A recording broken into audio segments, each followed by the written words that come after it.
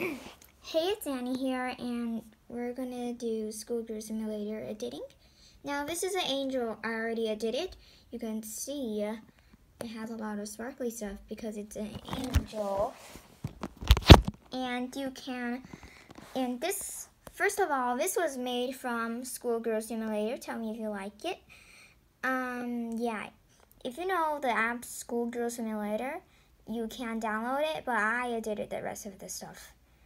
The body was itself. So first, you need to you need to just like get um yeah, you need to get a photo like this. So when I'm gonna go go to Schoolgirl Simulator, you can see um I'm I am just white. Yeah. Yeah, it's pretty creepy. But you will need a um, needle like this one. I can't really get it because I'm... There we go, I got it out. I'm gonna need a needle. Oh, silly me. What? Why? Why? Why? Why? I need it. Hey. Yeah. You get a needle.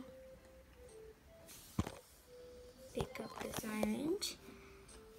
And then you can basically suck putrefied or something. Yeah. You can suck putrefied. You click A again. No, you click A. And then you click self-inject.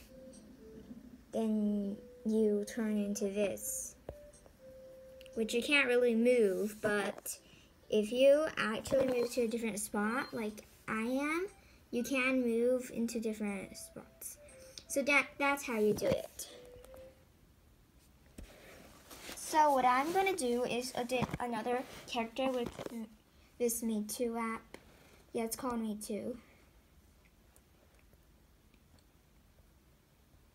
Yeah, Alright, um, so for this you have to have short hair if you want to create your own hair. Yeah, just like I did. Okay, so bye!